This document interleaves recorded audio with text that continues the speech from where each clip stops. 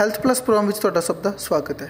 ਅੱਜ ਅਸੀਂ ਤੁਹਾਨੂੰ ਲੈ ਕੇ ਚੱਲ ਰਹੇ ਹਾਂ ਬਾਬੇ ਕੇ ਕਲੀਨਿਕ ਮੇਨ ਫਾਟਕ ਨੇੜੇ ਸਿਨੇਮਾ ਚੋਟੀਆਂ ਰੋਡ ਤਲਵੰਡੀ ਭਾਈ। ਇਸ ਕਲੀਨਿਕ ਨੂੰ ਚਲਾ ਰਹੇ ਨੇ ਵੈਦ ਅਮਰਜੀਤ ਸਿੰਘ ਡਰੋਲੀ ਭਾਈ ਵਾਲੇ ਇੱਥੇ ਹੱਡੀਆਂ ਦੇ ਸਰਵਾਈਕਲ ਦਾ ਇਲਾਜ ਕੀਤਾ ਜਾਂਦਾ ਹੈ। ਸਾਡੀ ਟੀਮ ਨੇ ਇੱਥੇ ਦਿਖਾਉਣ ਆਏ ਮਰੀਜ਼ਾਂ ਨਾਲ ਵੀ ਗੱਲਬਾਤ ਕੀਤੀ ਜਿਨ੍ਹਾਂ ਨੇ ਵੈਦ ਅਮਰਜੀਤ ਸਿੰਘ ਜੀ ਦੀ ਬਹੁਤ ਹੀ ਸ਼ਲਾਘਾ ਕੀਤੀ। ਲੱਗ ਰਿਹਾ ਤੁਹਾਨੂੰ ਤੁਸੀਂ ਇੱਥੇ ਡਾਕਟਰ ਅਮਰਜੀਤ ਜੀ ਦੇ ਕੋਲ ਆਉਂਦੇ ਹੋ?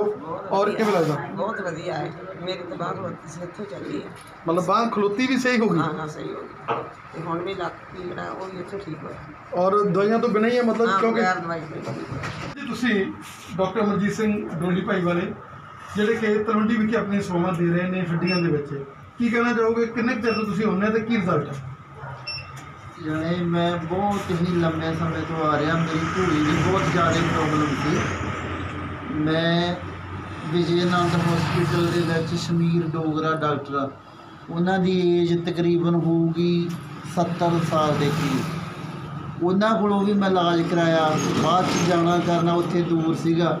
ਮੈਨੂੰ ਜਾਣੇ ਬਹੁਤ ਜ਼ਿਆਦਾ ਮੁਸ਼ਕਲ ਸੀਗੀ। ਇਹਨਾਂ ਨੇ ਆ ਕੇ ਫਿਰ ਇੱਥੇ ਜਦੋਂ ਮੈਂ ਇਹਨਾਂ ਨੂੰ ਮਿਲਿਆ, ਇਹ ਹੁਣ ਤਲਵੰਡੀ ਭਾਈ ਸੀ ਪਹਿਲਾਂ, ਆਹ ਤਲਵੰਡੀ ਆ, ਹੁਣ ਪਹਿਲਾਂ ਡਰੋਲੀ ਭਾਈ ਸੀ।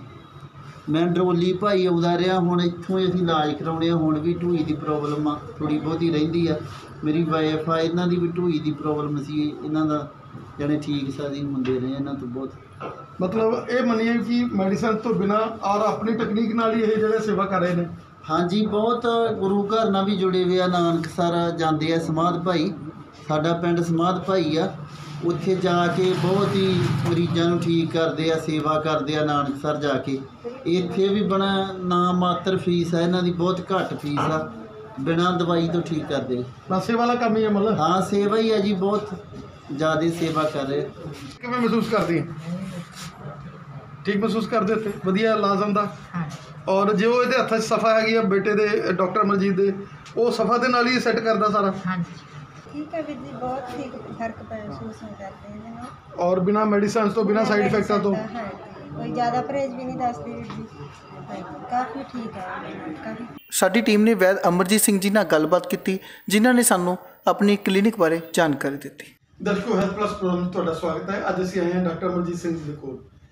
ਜਿਹੜੇ ਪਿਛਲੇ ਲੰਬੇ ਸਮੇਂ ਤੋਂ ਹਜ਼ਾਰਾਂ ਦੀ ਗਿਣਤੀ ਦੇ ਵਿੱਚ ਉਹਨਾਂ ਲੋਕਾਂ ਨੂੰ ਜਿਹੜੇ ਹੱਡੀਆਂ ਦੀਆਂ ਬਿਮਾਰੀਆਂ ਦੇ ਨਾਲ ਪੀੜਤ ਸੀਗੇ ਔਰ ਕਈ ਵਿੱਚੋਂ ਕ੍ਰੋਨਿਕ ਤੋਂ ਕ੍ਰੋਨਿਕ ਜਿਹੜੇ ਸਟੇਜ ਦੇ ਸੀਗੇ ਉਹਨਾਂ ਨੂੰ ਵੀ ਇੱਕ ਨਵੀਂ ਜ਼ਿੰਦਗੀ ਦੇ ਚੁੱਕੇ ਨੇ। ਡਾਕਟਰ ਤੁਹਾਡਾ ਸਵਾਗਤ ਹੈ ਸਾਡੇ ਸਪੈਸ਼ਲ ਸ਼ੋਅ 'ਚ। ਮਿਹਰਬਾਨੀ ਬਹੁਤ ਬਹੁਤ ਧੰਨਵਾਦ ਤੁਹਾਡਾ ਡਾਕਟਰ ਅਮਰਜੀਤ ਜੀ ਜਿੱਦਾਂ ਅੱਜ ਇੱਕ ਛੋਟੇ ਜਿਹੇ ਪਿੰਡ 'ਚ ਬੈਠ ਕੇ ਤੁਸੀਂ ਪੰਜਾਬ ਹੀ ਨਹੀਂ ਬਲਕਿ ਸਾਰੇ ਭਾਰਤ ਦੇ ਜਿਹੜੇ ਹੈਗੇ ਆ ਲੋਕ ਉਹਨਾਂ ਦੇ ਨਾਲ ਛੂ ਰਹੇ ਹੋ ਔਰ ਜਿਸ ਤਰੀਕੇ ਦੇ ਨਾਲ ਅਸੀਂ ਤੁਹਾਡੀਆਂ ਵੀਡੀਓਜ਼ ਜਿਸ ਤਰੀਕੇ ਨਾਲ ਸਾਨੂੰ ਤੁਸੀਂ ਦਿਖਾਈਆਂ ਕਿ ਬਹੁਤ ਬਹੁਤ ਵੱਡੇ ਵੱਡੇ ਲੈਵਲ ਦੇ ਲੋਕ ਬੜੇ ਬੜੇ ਦੂਰੋਂ ਜਿਹੜਾ ਹੈਗਾ ਅਮਰਜੀਤ ਜੀ ਨੇ ਇੱਕ ਨਵੀਂ ਜ਼ਿੰਦਗੀ ਦੇ ਕੇ ਤੋਰੇ ਨੇ। ਡਾਕਟਰ ਸਾਹਿਬ, ਕਿਵੇਂ ਮਤਲਬ ਇਹ ਸਫਾ, ਇਹ ਕਿਵੇਂ ਮੰਨੀਏ ਕਿ ਇਹ ਹੱਥਾਂ ਦੇ ਵਿੱਚ ਹੀ ਜਾਦੂ? ਔਰ ਕਿਵੇਂ ਤੁਸੀਂ ਆਪਣੀ ਪ੍ਰੈਕਟਿਸ ਸਟਾਰਟ ਕੀਤੀ? ਬੜੇ ਯੰਗੀ ਜਿਹੇ ਹੋ ਤੁਸੀਂ। ਔਰ ਕਿਵੇਂ ਇੰਨੀ ਛੋਟੀ ਏਜ ਦੇ ਵਿੱਚ ਹੀ ਜਿਹੜਾ ਹੈਗਾ ਇਹ ਮੁਕਾਮ ਹਾਸਲ ਕੀਤਾ? ਸਭ ਤੋਂ ਪਹਿਲਾਂ ਤਾਂ ਇਹ ਵਾਹਿਗੁਰੂ ਦੀ ਮਿਹਰ ਹੋਣੀ ਚਾਹੀਦੀ ਬੰਦੇ ਤੇ। ਕੋਈ ਵੀ ਇਨਸਾਨ ਹੁੰਦਾ, ਜੇ ਉਹ ਮਾਲਕ ਸ਼ਫਾ ਦਵਾਵੇ ਤਾਂ ਹੀ ਬੰਦੇ ਨੂੰ ਸ਼ਫਾ ਮਿਲਦੀ ਹੈ। ਉਂਝ ਕੋਈ ਕਿਸੇ ਤਰ੍ਹਾਂ ਦਾ ਵੀ ਜੇ ਕੋਈ ਬੰਦਾ ਕਵੇ ਵੀ ਮੈਂ ਆਪ ਸਭ ਕੁਝ ਕਰ ਲਵਾਂ ਇਹ ਸਭ ਕੁਝ ਉਹ ਮਾਲਕ ਕਰਾਵੇ ਤਾਂ ਹੁੰਦਾ। ਬਾਕੀ ਰਹੀ ਜੀ ਪੇਸ਼ੈਂਟ ਦੀ ਗੱਲ ਪੇਸ਼ੈਂਟ ਵੀ ਵਾਹਿਗੁਰੂ ਆਪ ਹੀ ਦੇਖਦਾ। ਸਾਡੀ ਤਾਂ ਸਿਰਫ ਮਾਲਕ ਨੇ ਡਿਊਟੀ ਲਾਈ ਹੈ ਸੇਵਾ ਕਰੀ ਜਾਂਦੇ ਵੀਰ ਜੀ, ਜਿਸ ਤਰੀਕੇ ਨਾਲ ਤੁਸੀਂ ਵਿਦਆਊਟ ਮੈਡੀਸਨ ਕੋਸ਼ਿਸ਼ ਕਰਦੇ ਹੋ ਜ਼ਿਆਦਾ ਕਿ ਉਸ ਪ੍ਰੋਬਲਮਸ ਨੂੰ ਸੋਲਵ ਕਰਨ ਦੀ, ਜਿਨ੍ਹਾਂ ਦਾ ਅੱਜ ਡਿਸਕ ਦੀ ਪ੍ਰੋਬਲਮ ਹੈ, ਜਿਨ੍ਹਾਂ ਨੂੰ ਸਪੌਂਡਿਲਾਈਟਿਸ ਹੈ, ਜਿਨ੍ਹਾਂ ਦੀ ਜਿਹਦਾ ਇੱਕ ਮਾਤਾ ਨੇ ਸਾਨੂੰ ਦੱਸਿਆ ਕਿ ਮੇਰੀ ਬਾਹ ਜਿਹੜੀ ਹੈਗੀ ਆ, ਉਹ ਬਿਲਕੁਲ ਹੀ ਨਹੀਂ ਚੱਲਦੀ ਸੀਗੀ।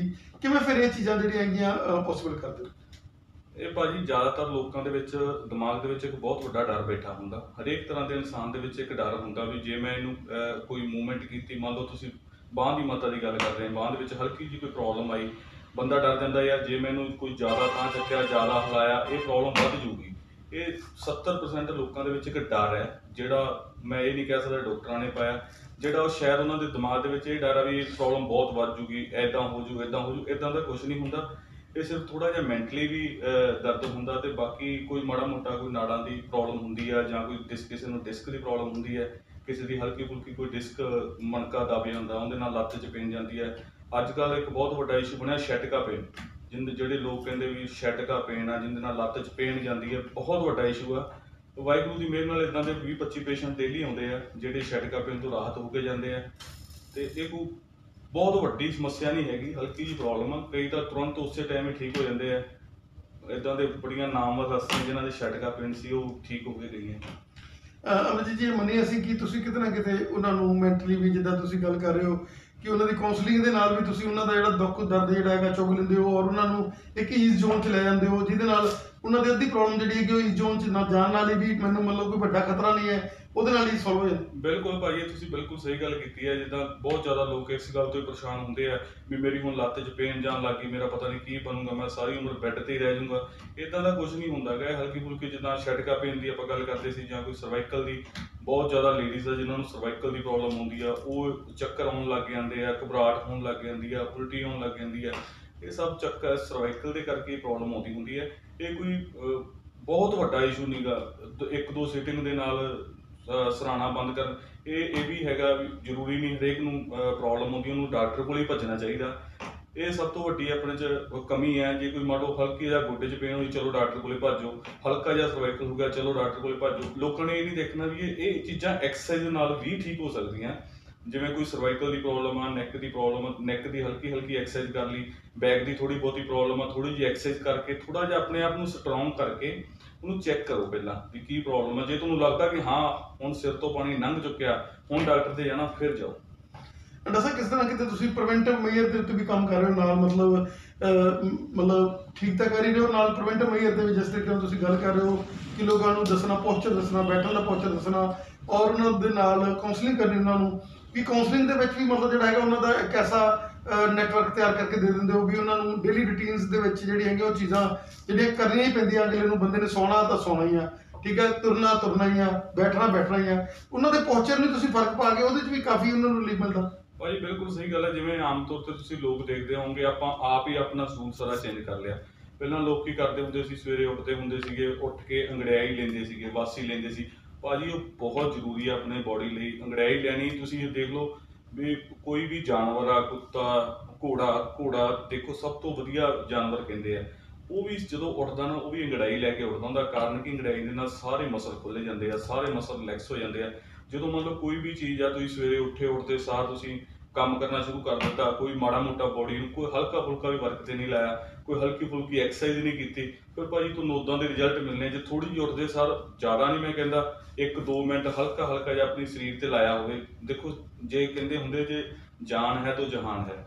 ਜੇ ਥੋੜਾ ਬਹੁਤਾ ਤੁਸੀਂ ਆਪਣੀ ਬੋਡੀ ਨੂੰ ਕੰਮ ਤੇ ਲਾ ਲਓਗੇ, ਤੜਕੇ ਤੇ ਸਾਰਾ ਦਿਨ ਕੰਮ ਬੋਡੀ ਤੋਂ ਹੀ ਲੈਣਾ ਨਾ ਥੋੜਾ 1-2 ਮਿੰਟ ਤੁਹਾਨੂੰ ਬੋਡੀ ਤੇ ਵੀ ਲਾਉਣੀ ਚਾਹੀਦੀ ਅਹ, ਅਮਰਜੀਤ ਜੀ, ਜਿਸ ਤਰੀਕੇ ਦੇ ਨਾਲ ਫਿਰ ਤੁਸੀਂ ਜਿਹੜੀ ਹੈਗੀ ਚੇਨ ਵੱਧ ਰਹੀ ਹੈਗੀ ਆ, ਇਹ ਮੰਨੀਏ ਕਿ ਪੇਸ਼ੈਂਟ ਪੇਸ਼ੈਂਟ ਜਿਹੜਾ ਹੈਗਾ, ਇਹ ਤੁਹਾਡੀ ਬਹੁਤ ਐਡਵਰਟਾਈਜ਼ਮੈਂਟ ਜਿਹੜੀ ਹੋ ਰਹੀ ਆ ਔਰ ਉਹਦੇ ਨਾਲ ਨਾਲ ਤੁਹਾਡਾ ਐਕਸਪੀਰੀਅੰਸ ਕਿਉਂਕਿ ਤੁਸੀਂ ਨਵੇਂ ਨਵੇਂ ਚੀਜ਼ਾਂ, ਕਿਉਂਕਿ ਜਦੋਂ ਹੱਡੀਆਂ ਦੇ ਨਾਲ ਗੱਲ ਸੰਬੰਧਿਤ ਹੋ ਜਾਂਦੀ ਹੈ ਤਾਂ ਅੱਜ ਤਕਰੀਬਨ 40 45 ਸਾਲ ਤੋਂ ਬਾਅਦ ਹੀ ਗੋਡੇ ਜਿਹੜੇ ਹੈਗੇ ਲੋਕਾਂ ਦੇ ਬੜਾ ਕਹਿੰਦੇ ਗੋਡੇ ਘਸ ਗਏ, ਗੋਡਿਆਂ ਦੇ ਤੁਸੀਂ ਚੌਂਕੜੀ ਨਹੀਂ ਮਾਰਨੇ, ਤੁਸੀਂ ਗੋਡੇ ਮੁੱਢੇ ਨਹੀਂ ਕਰਨੇਗੇ ਕੀ ਕਹਿਣਾ ਚਾਹੋਗੇ?